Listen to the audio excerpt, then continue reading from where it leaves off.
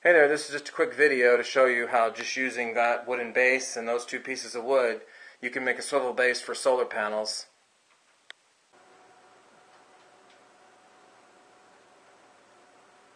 Very easy swivel to make. You see how easy that swivels. It's totally quiet, smooth, and a great way to increase the uh, amount of power you can get out of solar panels. It's just two boards with a Lazy Susan bearing in between. Those squares of wood are just scrap wood, 18 by 18 inch, and then some scrap 2 by 2s. I think the wood was a dollar or two at Home Depot. That's all you need. Just set it up like that.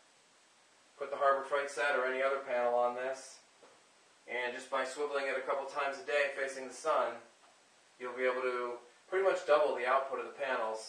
You certainly don't want to be lifting these and turning them several times a day. Big pain in the butt. Again, just use the two 18 by 18 boards. Put the Lazy Susan bearing between them for a nice smooth swivel base. And then I use the 2 by 2s so the frame would fit on there.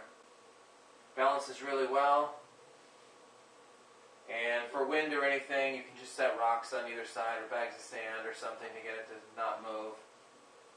So there you go. Any questions, let me know.